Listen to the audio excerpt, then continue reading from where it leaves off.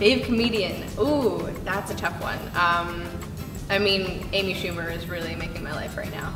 Uh, but I also really love Louis C.K.'s frankness. I'm gonna go with Dave Chappelle. Will Ferrell? Sarah Silverman. Chris Farley. Kevin Hart. Russell Peters. I like classic comedians. I like Lenny Bruce and George Carlin a lot, but from nowadays, I'd have to say Amy Schumer. Louis C.K. Louis C.K. Louis C.K. Fran Lebowitz. Jerry Seinfeld. Louis C.K. Fave comedian currently Amy Schumer. Um, and Joan Rivers.